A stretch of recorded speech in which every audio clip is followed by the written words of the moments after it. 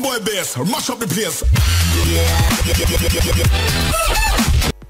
E ciao a tutti ragazzi e benvenuti in questo nuovo tutorial di Minecraft dove vi mostrerò come creare un pistone normale e un pistone appiccicoso Iniziamo subito con il tutorial Per creare un pistone normale bisogna avere 4 blocchi di pietrisco, una polvere di pietra rossa e un lingotto di ferro con 3 assi di legno Come crafting è facilissimo, basta mettere così, così così e vi uscirà fuori il pistone. Mentre per il pistone appiccicoso bisogna avere un pistone e, un, e una palla di slime. Ecco qua. Quali sono le loro funzionalità. Questo è il pistone normale. Come vedete sopra non c'è niente. Fa così.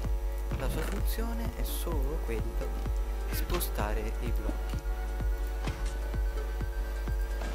Ecco.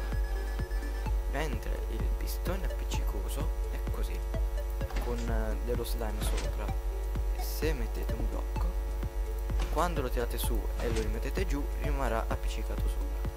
Bene da questo tutorial brevissimo è tutto e noi ci vediamo in un prossimo tutorial. Ciao a tutti ragazzi e spero che vi siano stato utile